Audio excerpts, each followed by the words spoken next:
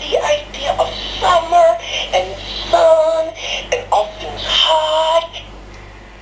Thank you.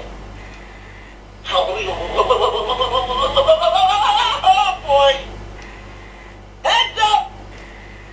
Some people are worth melting for.